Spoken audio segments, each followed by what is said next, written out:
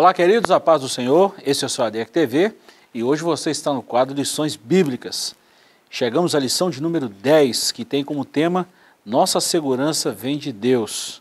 O texto está no Evangelho de Lucas, capítulo 12, versículo 15, e está escrito assim: E disse-lhes: Acautelai-vos e guardai-vos da avareza, porque a vida de, qual, de qualquer não consiste na abundância do que possui.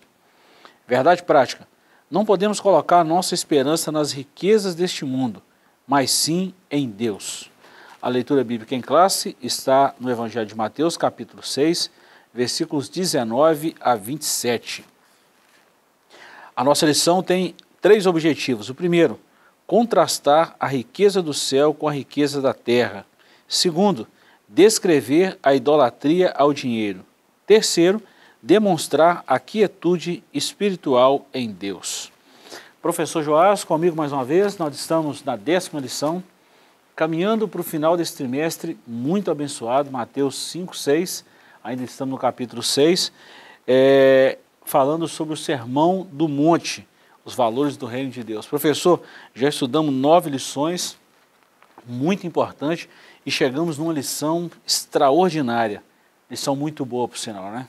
É, falar onde, aonde devem estar nossas riquezas, né, nossos tesouros. É, onde tiver nosso tesouro está nosso coração. Né? É, e Jesus faz um contraste aí entre Deus e Mamon, né, que é o, o, o amor ao dinheiro. Né? E aí ele vai dizer qual, qual desses que é mais vantajoso, né? qual desses que traz mais lucro, mais benefícios. É muito interessante.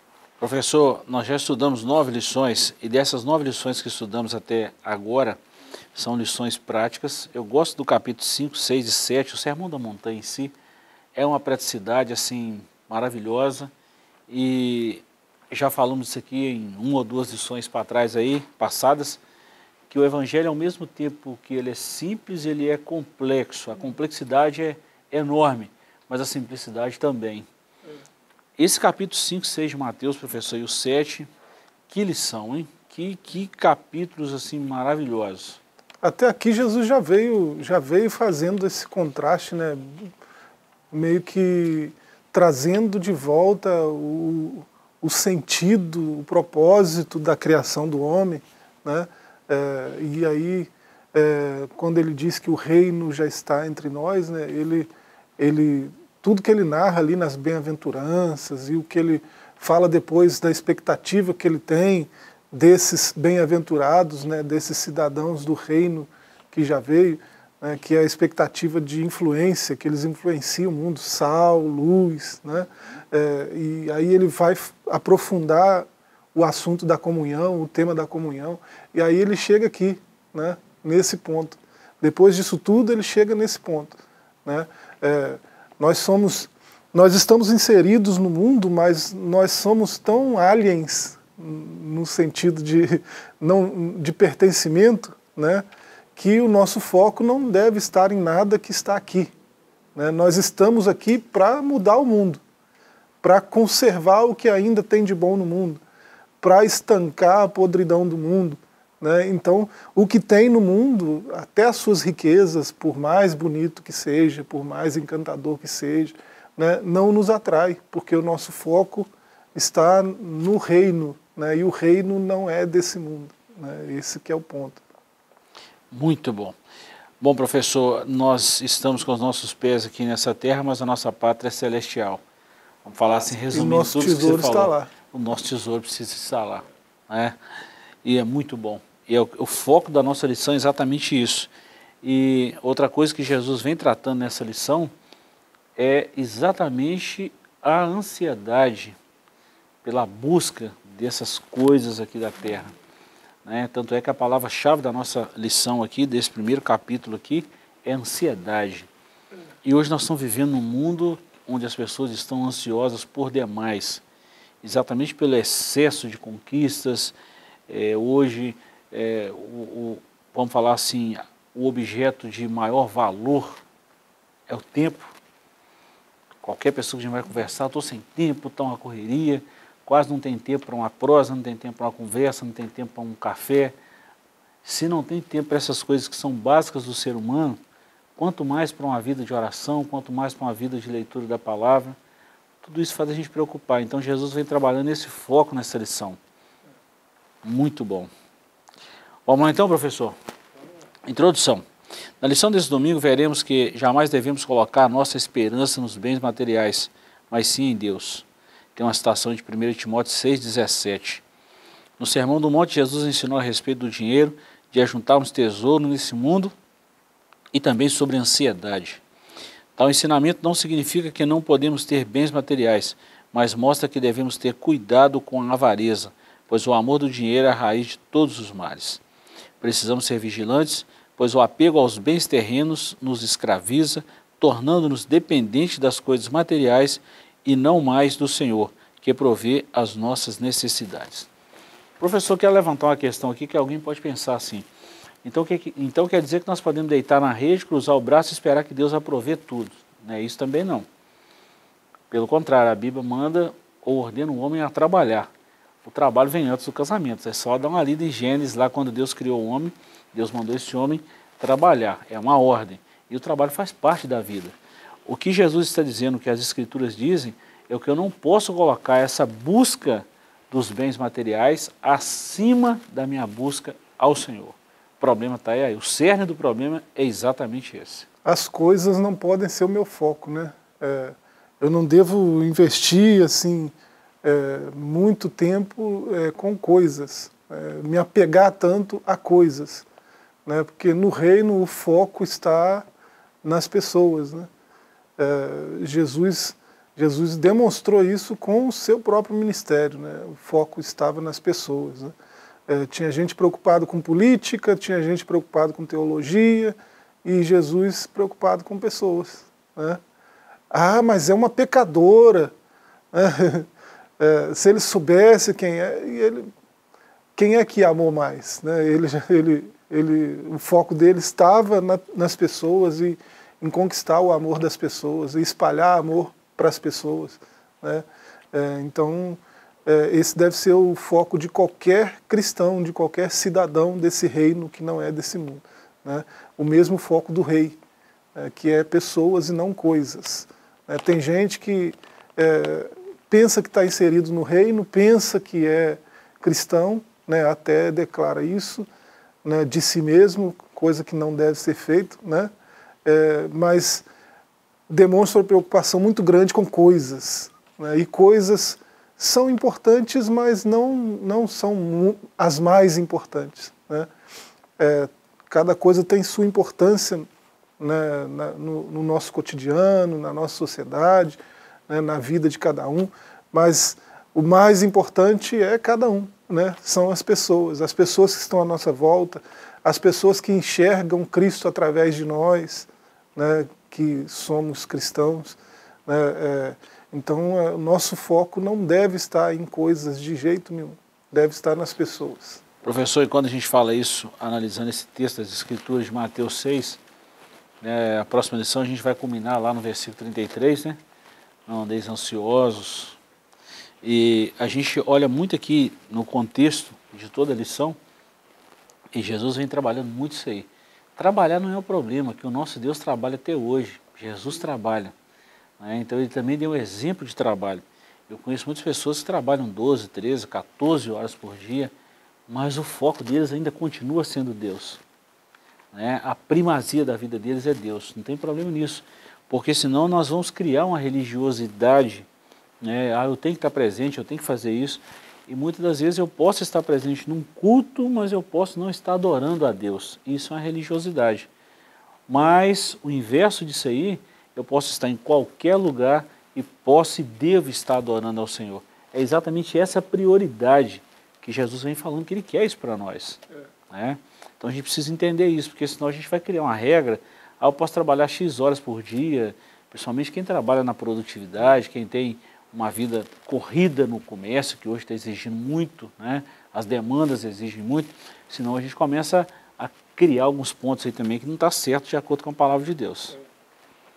Mas é muito bom. Bom, se a gente fala muito de riqueza, a gente corre atrás de tanta coisa aqui, Jesus recomendou a gente correr atrás da nossa riqueza no céu, juntar tesouro no céu. É o primeiro capítulo dessa lição, dividido em três tópicos. Primeiro, uma conciliação impossível. Segundo, tesouros da terra e tesouros do céu. E terceiro, o que os o que o cristão precisa saber sobre bens materiais. Isso aqui é muito importante. Então vamos dar uma corrida aqui. Já experimentamos o novo nascimento, somos novas criaturas e não devemos novamente ser dominados pela concupiscência dos nossos olhos, nem pela soberba desse mundo. Uma das tentações de Satanás, quando Jesus passou pelo processo de tentação, foi o oferecimento dos reinos desse mundo. Jesus rejeitou tal proposta de imediato, pois seu coração não estava nas coisas deste mundo e ele sabia a quem devia a adoração verdadeira. Então, professor, nós vimos que é uma conciliação impossível. Não tem como eu agradar o mundo e agradar a Deus. Ou eu vou agradar um e desagradar o outro, ou vice-versa. Então, Jesus sempre nos recomenda agradá-lo, agradar a Deus. E é um contraste isso aqui, tá? É. Nós, como cidadãos do reino, vivemos um, um, um paradoxo até, né? é, que é uma tensão, né, muito, uma tensão escatológica muito visível, né, que o reino já veio, mas ainda não na sua plenitude, uhum. né? É, então a gente tem dupla cidadania, né? Nós não somos da terra, mas estamos aqui. Ele pediu para o Pai não nos tirar daqui, né? Por causa desse nosso papel de influência. Então a gente precisa conciliar essa vida no mundo com a vida do reino. Né? Precisa ter uma conciliação aí. E aí a questão às vezes está no foco. Né? É, eu posso trabalhar bastante nesse mundo né? e no meu trabalho manifestar o reino. Né? Aí, eu, aí quanto mais eu trabalhar, melhor. Seria o ideal. Se é esse o caso. Né? Se eu manifesto o reino no meu trabalho. É, e a, alguém pode achar que o reino está no templo, na congregação. Não, o reino está no meio de nós, como cristãos. Né? Quando há comunhão entre dois cristãos, o reino está ali. É, então, é, às vezes é o que o senhor, uma, uma, questão que o senhor levantou aí, às vezes alguém é, alguém está desempregado há um bom tempo né, e surge, surge uma oportunidade é, mas eu vou ter que rejeitar, porque nesse horário eu tenho que estar na igreja para isso, para aquilo. Pra... Né? Há que se ponderar algumas coisas aí. Né? O reino não é a congregação, né? não é o serviço. O serviço faz parte do reino. Né? Há que se conciliar as duas coisas. É, o que Jesus está dizendo é que o nosso foco não deve estar nas coisas. Né? Porque as coisas, a traça, a ferrugem, destroem e se a traça e a ferrugem nos destruírem, o ladrão vem e leva. Né? No reino, não. Os tesouros que a gente ajunta no reino são eternos, né? vão, ser, vão estar sempre lá e vão ser sempre nossos. Né? Então, o nosso foco maior deve ser os tesouros do, do céu. Né? É, professor, você levantou uma questão muito boa aí, porque hoje a gente tem visto muitas, vamos falar assim, anormalidades com relação à interpretação da Bíblia. E tem muita gente equivocado, muito equivocado com relação a essas prioridades. E é bom a gente rever isso. Jesus está ele tá condenando aqui mesmo a avareza, o amor ao dinheiro, que é a raiz de todo mal. Não Mas, o dinheiro em si. Não o dinheiro em si. O problema não é o dinheiro, é o amor ao dinheiro. É, é essa desordenança, essa, essa avareza, esse consumismo, esse materialismo que infelizmente está dominando muitos corações. Então, eu, vou, eu já falei isso aqui, vou falar de novo. Tem muitas pessoas que estão vivendo a corrida dos ratos, né? É. Quem mexeu no meu queijo? É, é, vive aquele ciclo e não consegue sair daquilo ali. Quando para pensar, já passou a vida, passou aí 60, 70, 80 anos, não produziu nada no reino espiritual, perdeu seu tempo como, vamos falar assim, de servidão a Deus aqui na terra, não participou do reino e vai para a eternidade com um déficit muito alto. Então é um tempo da gente parar e pensar e ver sobre os nossos valores. Como nós estamos falando dos valores do reino de Deus, é uma oportunidade muito boa para a gente falar isso. Eu quero entrar nesse segundo tópico aqui que vai, que vai corroborar muito, como diz o Léo Canarino, que nós estamos falando aqui. Tesouros da terra e tesouros do céu. Jesus não aprovou a posição dos escribas e fariseus em relação ao dinheiro. Eles davam muita ênfase aos bens materiais e viam as riquezas como uma amostra da aprovação divina. Jesus confrontou tal pensamento fazendo uma distinção clara entre os tesouros do céu e os tesouros da terra. O mestre mostrou que os bens materiais não são sinal de que Deus está aprovando nossas atitudes e conduta. Eles são transitórios e podem ser destruídos pela traça, pela ferrugem e levados pelos ladrões. Muitos, infelizmente, já perderam todas as suas economias devido a uma quebra na bolsa de valores, um sorte desonesto por meio de golpes e por aí vai. Segundo Jesus, o crente deve ajuntar tesouro no céu, onde nem a traça nem a ferrugem consome, e onde os ladrões não minam e nem roubam. Jesus estava dizendo que os nossos esforços devem ser em prol do reino de Deus e da sua justiça, pois ninguém levará nada deste mundo, como afirmou o patriarca Jó. No saí do vento da minha mãe e no tornarei para lá.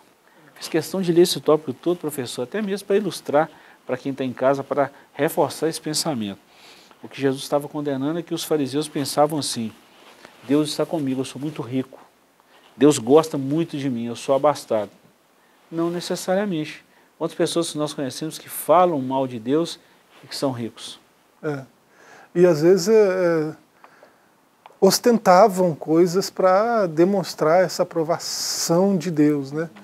Eu sou tão aprovado por Deus que olha aqui a minha roupa, olha aqui o meu enfeite, olha aqui o meu ouro, né? E ostentavam isso publicamente, né? E, assim, é, se Jesus condenou até é, a, a, motivação da oração e do jejum deles, né? ele não faria isso com essa roupa que eles estão usando, e é isso que ele está fazendo aqui. Né? Roupa, isso aí, traça, consome, traça, corrói. Né? É, não fica juntando esse tipo de tesouro aqui, não. Né? Presta atenção que tem, tem tesouros melhores. Né? Lá no reino não tem é, especulação, lá no reino é, não tem fake news que jogam os números lá embaixo. Né? No reino é, tudo é justo, né? tudo é reto. Então, e, e lá não tem nada que corrói os tesouros de lá. Professor, o oposto disso é verdade também. É, tem muita gente que pensa assim, ah, então não, não é isso não. A riqueza sem Deus é complicada, mas a pobreza sem Deus também é muito complicada. Sim, tem gente, gente que, tem gente que ostenta isso. a pobreza, né? Não é? Vem num tom de humildade, achando que vai conversar com a pessoa, não tem nada de humilde. Nada de humilde. Então, é, não tem nada a ver isso aqui não. A postura é a mesma. Não é? A postura do que ostenta a riqueza e do que ostenta a pobreza é a mesma. É a mesma né? coisa. Então, é... é bom a gente destacar isso, professor, porque tem muita gente que pensa assim, então os ricos não são... Não, não tem nada disso. Eu conheço muitos ricos que são de uma natureza, assim, de uma simplicidade invejável, vamos falar assim. É, eu vou usar esse termo mesmo que nem parecem que têm o que têm. E, por outro lado, tem muitas pessoas que não têm tanta abastança, mas que têm um orgulho lá nas nuvens. Esse tipo de vida que Deus está condenando, que Jesus está condenando. É, é isso. Por que os cristãos precisam saber sobre bens materiais? Jesus não estava condenando a adquirir bens materiais, pois muitos homens de Deus possuíram riquezas, como por exemplo Abraão, Isaac, Jacó, Salomão e muitos outros. Né? É importante também destacar que Jesus ensinou ao povo a não desperdiçar nada, pois depois da multiplicação dos pães e peixes, ele ordenou recolher os pedaços que sobre, sobejaram, para que nada se perca. Ó, o crente que conhece as Sagradas Escrituras sabe que tudo o que temos pertence a Deus e toda a bênção vem dele. Professor, eu amo muito um, um, um louvor da Batista do Lagoinha. É, eu vou falar só uma frase: tudo que eu tenho, tudo que eu sou, tudo que eu vier a ser, vem de ti. A gente precisa ter essa consciência, professor. Tudo vem de Deus. É, isso aí é, é o básico, né? É, teve, muito, teve muitos do povo de Deus que se perderam, que caíram por causa do amor aos bens materiais, né? o amor ao, a mamon, ao dinheiro. Né? Teve um que, por causa de uma capa, né? Às vezes o problema é com a roupa mesmo, né? Nós, uhum. é, nós até hoje temos muito, muitos problemas com a questão de vestuário, né? É, e isso é muito antigo. Né? Você vê, Sansão fez um desafio e, e, assim, ele conseguiu seduzir aqueles filisteus a aceitar o desafio porque ele prometeu roupas de festa. Né? Um, um, outro viu uma boa capa babilônica no meio do anátema e tomou, e aí com a capa vieram outras coisas. Né? Teve que esconder e veio praga no meio do povo por causa do anátema. É, então, assim, sempre foi uma questão sensível, né? a questão da, do vestuário. E, e às vezes é a primeira coisa que denuncia né, o, o nosso amor ao dinheiro, é justamente o vestuário. Né? É, tem gente que às vezes nem tem condições de comprar certas coisas, porque vai passar aperto, mas vai lá e compra aquele terno, compra aquele sapato, compra aquele. porque tem que parecer, tem que ostentar. Né? É, isso é muito complicado. Né? E Jesus é, condenou esse tipo de, de, atitude, esse tipo de arrogância. Né? É, e ele ensinou que é melhor confiar no Senhor. É, o Senhor ele sempre proveu né, para os que andam com Ele. Nunca vai faltar nada. Então é melhor o caminho da humildade. É, a primeira virtude que Jesus ressaltou nesse Sermão do Monte foi a humildade. E ele voltou a ela algumas vezes no decorrer do sermão. Né? Primeira coisa que ele citou, né? bem-aventurados os humildes. né? É, e depois ele falou de um outro tipo de humildade né? no verso 3, no verso 5 de Mateus 5. Né? E depois ele falou de humildade diversas vezes, no capítulo 6, no capítulo 7.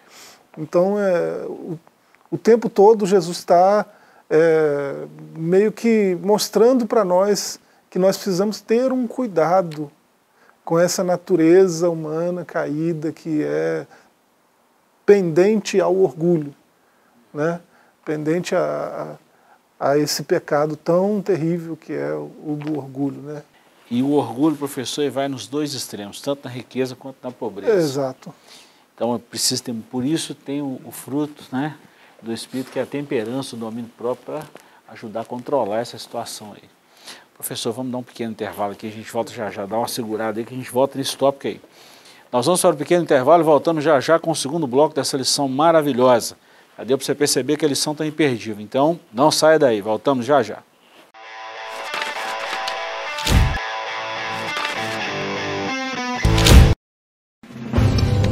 Uma verdadeira história de fé, renúncia, desafios e conquistas. Você irá se emocionar e extrair lições extraordinárias da biografia de um dos mais expressivos líderes do movimento pentecostal no estado de Minas Gerais. Recomendada por influentes líderes cristãos. Adquira agora mesmo Ari Coelho, um legado de fé e descubra detalhes de uma história de vida que pode transformar a sua. Um produto com a qualidade CPAD.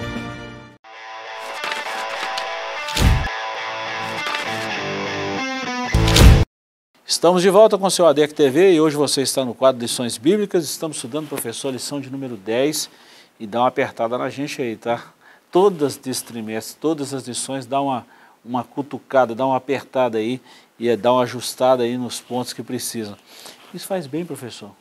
A gente é. precisa desse check-up espiritual. Né? Tem muita gente que não gosta, ah, mas está me chamando a atenção. Não é isso. A Bíblia diz que Deus, Deus corrige aquele a quem Ele ama. E, e, esse texto de Jesus é uma correção. E a gente precisa, porque de vez em quando você está saindo um pouquinho da rota ali, aí a palavra vem, te endireita, te coloca nos trilhos, a gente segue, vai embora. É, um bom coach diria que aqui estão ferramentas para autoconhecimento muito boas. Né? é. Tem muito ferramentas bom. aí gratuitas aí, Mateus 6. Né? Muito e bom. às vezes a gente despreza. Né? Dá para despertar muito gatilho aí, não dá, dá para virar muito gatilho, né, professor? É. Bom, capítulo 2 aí nós vamos falar, enquanto nós estudamos aí no capítulo 1, né, se a gente for falar aí da sinopse desse capítulo 1, a riqueza do céu e a riqueza da terra não tem conciliação. Não, quando fala que não tem conciliação é porque as duas não se bicam. Vamos falar assim, ou eu dedico muito a uma ou eu dedico a outra. Então é, é bom a gente destacar. E o capítulo 2 aqui, nós já começamos falando é, do coração no lugar certo, né? Dentro do subtópico aqui, idolatria ao dinheiro. Então vamos lá. Nossos corações não podem estar apegados às coisas deste mundo. Nossa esperança e confiança deve estar em Jesus. Em breve, Cristo voltará para arrebatar a sua igreja e não levaremos nada desse mundo. Porém, as nossas obras serão provadas pelo fogo. Teremos de prestar contas como um mordomo de tudo que fizemos em nossos bens e talentos, segundo a parábola do mordomo infiel. Lucas capítulo 16, 1 a 13. Segundo a Bíblia de Estudo Pentecostal, a injustiça, a cobiça e o poder estão comumente envolvidos na acumulação e emprego das riquezas desse mundo. Professor, ser rico não é problema, conquistar, galgar posições também não é problema. Deus deu isso para nós, seres humanos. O grande problema é deixar Deus de lado e correr atrás dessas coisas. É esquecer de Deus. Esquecer de onde vem isso. Porque nós já falamos aqui no bloco anterior, a Bíblia é cheia de homens ricos e tementes a Deus. Nós vimos aqui Abraão, Isaac, Jacó, Jó. Olha o Jó. Né? E muitos outros. Mas a gente vê também é, que o coração desses homens era em Deus. E vê pessoas miseravelmente pobres e que o coração estava distanciado de Deus. Então o problema não é ter riqueza ou não ter riqueza, o problema é onde está o nosso coração. É, o coração é a chave aí. Né? É, Jesus conta a parábola né, do, do credor incompassivo, né? alguém que não tem onde cair morto né, na gíria popular aí né, é, manda prender um outro que deve uma micharia. É, então, e acabou de ser perdoado de uma dívida trilionária. Né? E, assim, às vezes o problema não é ter ou não ter dinheiro, né? às vezes o problema é o coração. Às vezes eu acho que sempre, né? É o coração humano, né? Onde que está o coração? Né? E está escrito isso, né? Que onde estiver o nosso tesouro, aí está também o nosso coração. Né?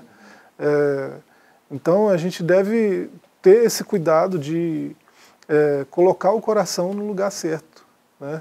É, buscar os tesouros melhores, né? que são celestiais. E aí Jesus vai dizer que não vai assim enumerar um a um que tesouros são esses, mas no decorrer do seu ministério ele vai mostrar quais são. Né? E aí no começo desse sermão ele mostrou também quais são os tesouros eternos. Né?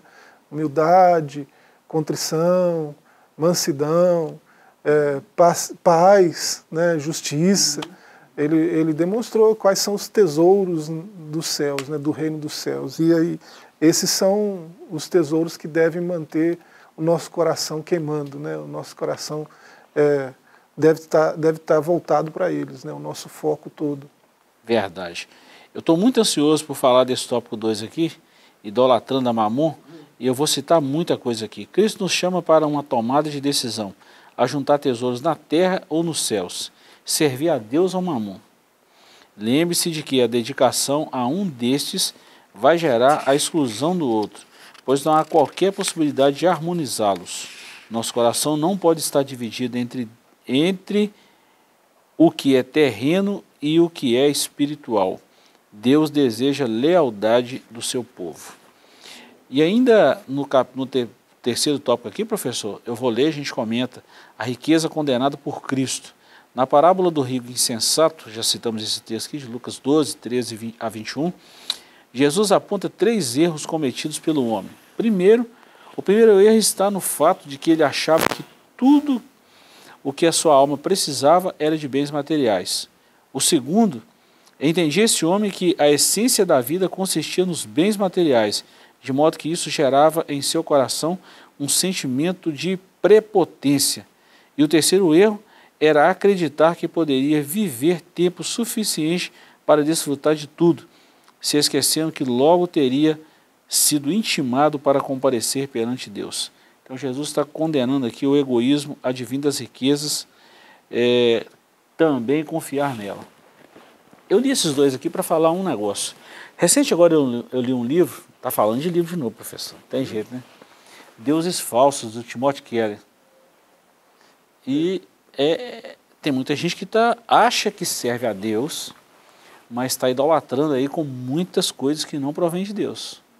Por exemplo, nós falamos que Deus está acima de tudo, eu creio na provisão de Deus e tal, mas eu corro atrás de um empréstimo, eu corro atrás de uma troca de cheque, de uma custódia, de um cartão de crédito. Eu, eu, quando não tem recurso nenhum, aí eu vou buscar Deus. Deus está em primeiro lugar na minha vida? Hum. É sobre isso que. O Tim que, Keller é cirúrgico. Rapaz, isso é muito bom. Então, muitas vezes a gente pensa que está agradando a Deus e está correndo atrás de um monte de coisa. Deus está sendo só um amuleto. Deixa Deus para o final. E é exatamente isso que Jesus está falando. Então, essa, por isso que eu falei que a seleção é prática, é confrontadora, porque muitas vezes a gente não quer ouvir isso, professor. É. E, e assim, Deus, Deus não, não é o gênio da lâmpada, mas é, ele até espera que a gente recorra a ele né? É, com esse ar de primazia, né? conforme Paulo escreve lá aos Colossenses, né? ele é o primeiro, o cabeça, tem a primazia em tudo. Né? É, então, é, adoeceu. Vai lá e compra um Dramin que está tá escasso ultimamente. Né? É, não, vai, vai em oração buscar o Senhor. Né? Depois, se, se for o caso, né, busca os recursos humanos. Né? É, e a mesma coisa está em dificuldade financeira. Né? É, busca o Senhor sabedoria para administrar bem, né, para saber gerir. Né, e é, quem sabe ele te dá até uma dica de um bom fundo de investimento aí. né? Que é normal eu, creio, eu creio num Deus que pode fazer isso. Sim, né? É, para quem, quem precisa de dinheiro e, e, entende que dinheiro é importante, né, não é o mais importante, mas é importante, deve buscar a direção de Deus para gerir o seu dinheiro. Né? É, não pode agir como esse, esse rico aqui. Né? É, você lê essas passagens, do verso 13 ao 21 né, de Lucas 12, você lê essa, esses poucos versículos aí, quantas vezes esse homem disse eu? Né? É, mesmo que o, o, eu esteja embutido na frase, né? É, farei, né? ajuntarei, construirei, né? ele está falando de pegar tudo que é dele, colocar, construir celeiros para ele, colocar aquilo tudo dentro dos celeiros e falar para ele mesmo, se assenta aí, fica tranquilo, de boa, porque agora é só usufruir disso tudo aí. Né? Como que, assim, tudo que ele que ele construiu, todo o trabalho dele foi para ele. Todo o dinheiro que ele ajuntou foi para ele. Está na primeira pessoa aí, é, eu, né? é, Então, é, é, assim, eu posso ter dinheiro? Posso. Dinheiro para mim? Não. Né? O dinheiro, se eu vou atrás do dinheiro porque entendo até que Deus quer usar a minha, o meu dinheiro para alguma coisa, né? Então aí eu devo administrar bem, Quanto mais dinheiro tiver, melhor, mas é, sabendo que esse dinheiro não é para mim. É, para o reino. É, aí aí a, a, coisa muda de, de figura, né? porque esse aí pensou que ia ficar de boa, ia viver muito tempo para desfrutar né, tudo que ele conquistou para ele. Né? Aí essa noite pedirão sua alma, seu louco. Ficou tudo aí. Né? Então é loucura, né? Viver como se, a, se tudo, tudo na vida fosse só para mim é loucura. Professor, eu vou falar um negócio aqui que você foi muito feliz no comentário aí. Como sempre, a gente está sempre trocando ideia, isso é muito bom, muito gostoso. quero citar dois exemplos de homens no Gênesis em que Deus orientou para eles, Deus ensinou e eles foram prósperos em sua jornada. O primeiro deles é Isaac havia uma fome em Gerar, todo, todo na terra dos filisteus, né? E Deus mandou Isaac semear. E naquele ano ele colheu quantas vezes mais? Se não me faz, 100 vezes mais. A ponto do povo falar assim, mas peraí, nós semeamos e não colhemos nada. Agora você semeia e colhe, você vai quebrar nossa terra. Igual, vai embora daqui. Aí eles falaram, sabe, Deus mandou fazer isso. Um outro, Jacó. Camarada, difícil mexer com ele. Quem olha aquelas ovelhas lá, as listradas, né, as salpicadas e, os, e as lisas, ele, entre ele e o sogro dele, Labão, é? Sogro não, tio, né? É tio. tio, Labão. Quando a gente olha isso aí... Sogro também. Né? Sogro também, sogro e tio, né? É ao mesmo tempo. É, quando a gente olha isso aí, se a gente vê no capítulo posterior a que ele faz isso aí, tem gente que acha que ele trapaceou. Mas Deus mostrou isso para ele em sonho. Faz assim, ele foi lá e fez, e deu certo. Olha a bênção de Deus. Tem uma ciência ali, né? Tem uma ciência, Deus mostrou para ele. Abraão também. Abraão. O, o, os três patriarcas aí foram muito prósperos financeiramente, né, e tudo com visão de Deus. Né? É, e aí a, a, gente vê que o dinheiro não é o problema.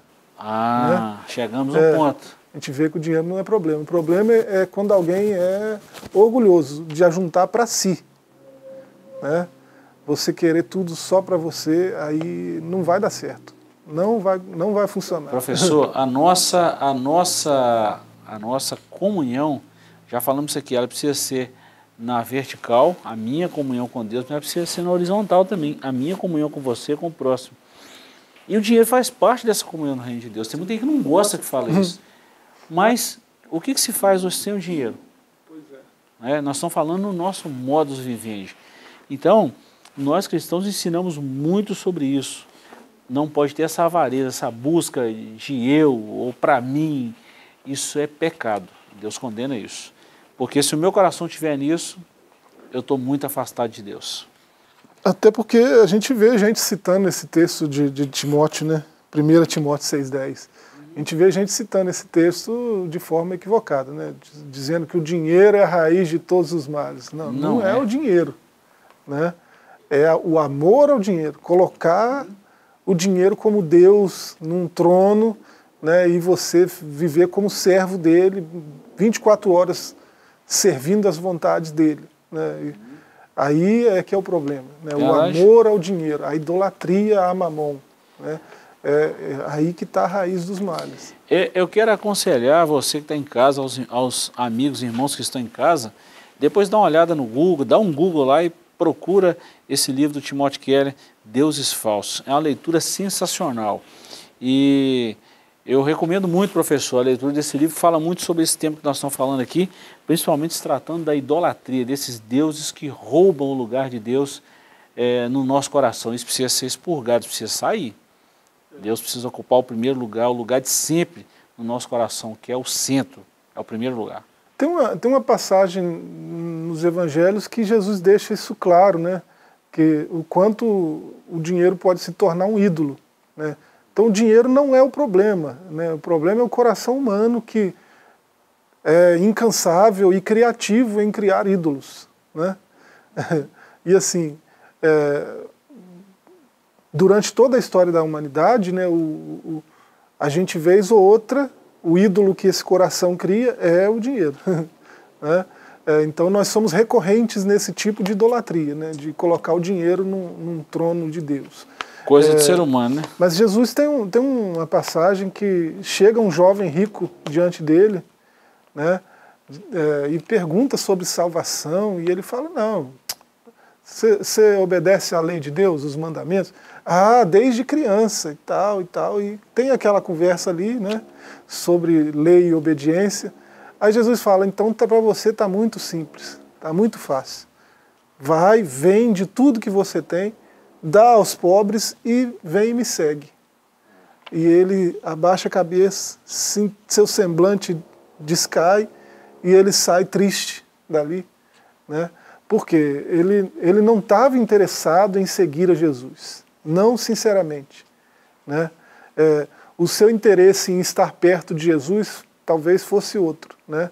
não o de segui-lo como seu rei, porque o seu rei era outro. Né? Jesus, conhecendo tudo, né? já foi na raiz do problema. Vende tudo que você tem e vem. Né? Aí ele saiu triste, porque como que ele vai se desfazer do seu Deus? Né? O seu rei é o dinheiro, o seu Deus é Mamon. Ele não vai deixar ele lá para seguir Jesus. Né? Então, vender tudo e dar aos pobres significaria para aquele moço né, abandonar o seu Deus. E ele não queria fazer E ele não ia fazer, e ele saiu triste. Pois né? é, professor. Porque não pode seguir os dois, não pode seguir Mamon e Jesus ao mesmo é tempo. É impossível. Nosso tempo está findando aqui, professor, mas olha que importante, não dá tempo da gente ler. Mas a, a conclusão da nossa lição aqui, vivendo a quietude espiritual em Deus. Eu poderia até, se fosse para mim trocar aqui, eu ia falar para a gente viver na dependência de Deus. Claro que nós temos que fazer a nossa parte, mas buscando a Deus em primeiro lugar e Deus nos orientando. Dependência de Deus é isso aí, é Deus nos orientando em tudo. Então está dividido em três tópicos. Primeiro, os males advindos das preocupações, porque quem tem esse excesso de atividade Hoje nós estamos vivendo um colapso aí na área da saúde mental, né? E os psicólogos estão aí para provar isso aí, os psiquiatras.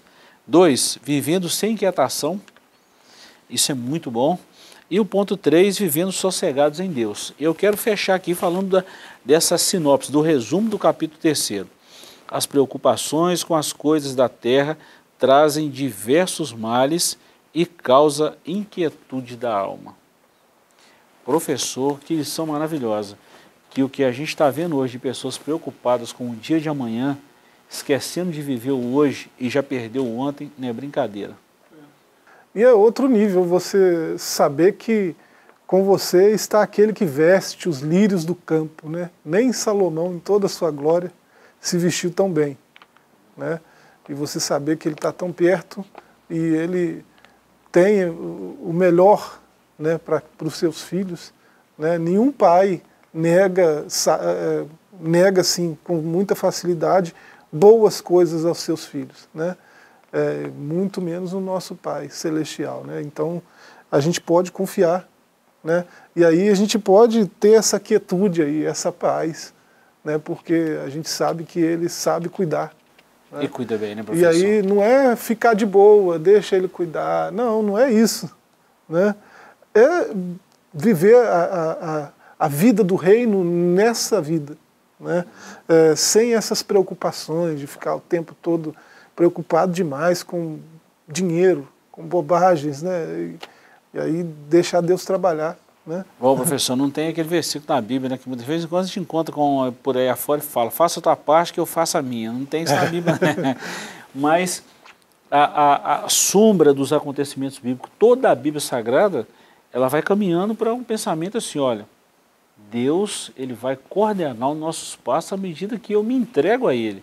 E a coordenação de Deus é boa, tá? Demais. Isso aí é fato.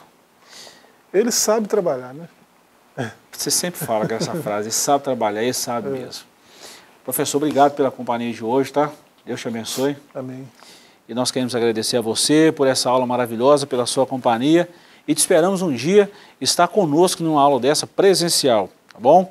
As nossas escolas bíblicas dominicais geralmente acontecem de 8 às 10 em todas as nossas igrejas aos domingos. Deus te abençoe, Deus te guarde e até o nosso próximo encontro, se o Senhor nos permitir. Até lá. Bye.